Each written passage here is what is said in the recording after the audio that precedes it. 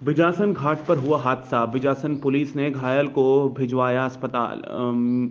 Mini truck की टक्कर से वाहन की ये हालत हो गई।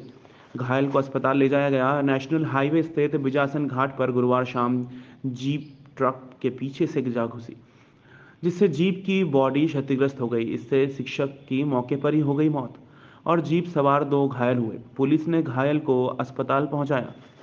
सेंधवा के शासकीय स्कूल क्रमांक दो में पदस्थ शिक्षक कैलाश पचपन, पिता राजन बर्डे, निवासी सेंधव गुरुवार शाम सूरज सोलंकी व सुनील डावर के साथ जीप एम पी नौ बी ए पाँच सात तीन एक से महाराष्ट्र के खमला स्थित उनके खेत जा रहे थे।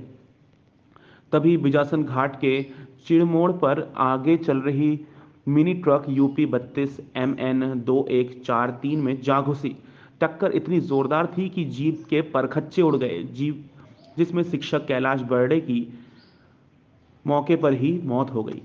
वहीं सूरज सोलंकी और सुनील डावर निवासी अजन गाँव घायल हुए। दोनों को बिजासन रोड के मोबाइल वाहन के सेंधवा सिविल अस्पताल भिजवाया गया। सुनील को मामूली चोट आई। शिक्षक बर्डे मूलतः अंजन गाँव के रहने वाले थे। वंदे भारत न्यूज़ की खास रिपोर्ट सचिन जायसवाल की ओर से।